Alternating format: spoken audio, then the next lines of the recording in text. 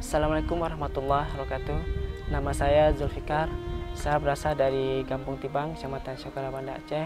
Setelah saya lulus SMA, saya sangat berkeinginan untuk melanjutkan pendidikan tinggi karena uh, saya berlahir dari keluarga yang berbatasan ekonomi. Uh, pada saat itu saya menganggur satu tahun dan setelah menganggur satu tahun pada tahun 2014 saya berkeinginan melanjutkan kuliah karena orang tua tidak orang tua saya tidak memiliki biaya. Assalamualaikum warahmatullahi wabarakatuh. Nama saya Irmawati. Saya asal dari Desa Tibang, Kota Banda Aceh. Sebenarnya saya ingin sekali melanjutkan uh, kuliah di, per, di perguruan tinggi karena saya lahir dari keluarga yang kurang mampu. Makanya saya tidak bisa melanjutkan uh, kuliah. Tapi dengan adanya beasiswa dari Yayasan Ubudiah, saya bisa meraihkan cita-cita saya sebagai seorang PNS yang berguna untuk bangsa dan negara. Saya orang korban tsunami. Ibu saya meninggal waktu korban waktu tsunami. Ayah dan saya tinggal berdua dengan ayah. Dan ayah saya pun kerja tidak menentu. Mungkin sangat mustahil saya untuk melanjutkan ke pendidikan tinggi. Assalamualaikum warahmatullahi wabarakatuh.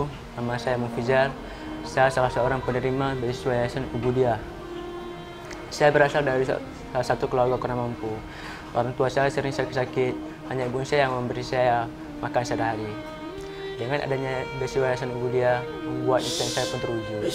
Harapan saya ke depan bisa membahagiakan kedua orang tua saya dan bisa membiayai semua adik saya masih sekolah.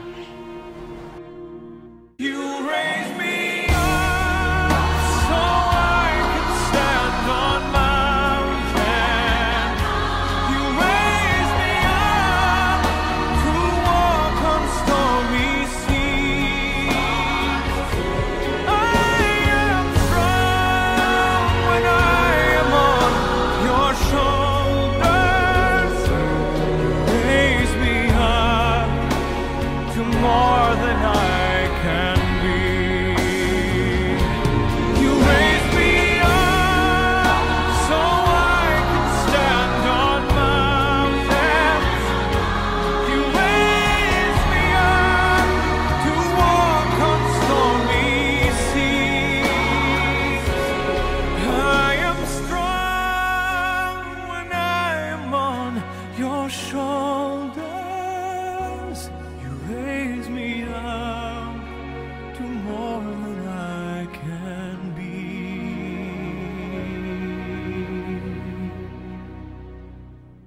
Saya uh, menerima uh, beasiswa yayasan dari Yayasan Ubudiah.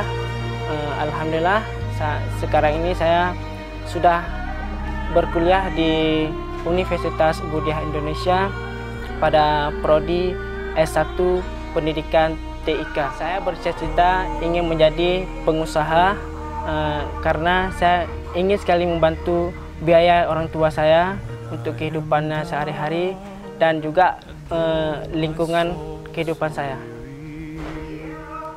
Alhamdulillah ini Zulfikar kami menjaga mahasiswa kuliah mudah-mudahan Mbak Ijak kuliah Mbak sempurna Mbak tamat dan mencapai cita-citanya.